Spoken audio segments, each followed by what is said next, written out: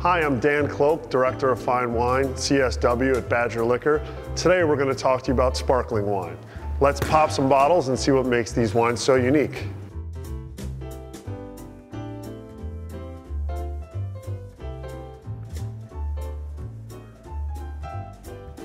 This wine is Ruffino Prosecco. Prosecco made from 100% Glera grape variety. This particular wine comes from vineyards in the northeast of Italy.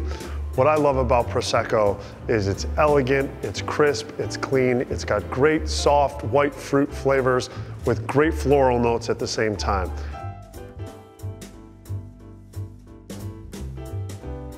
This wine is elegant, it has bright fresh fruit flavors and is so diverse, can be ideal for an aperitif or also mixed with your favorite fresh juices for cocktails, ideally a mimosa.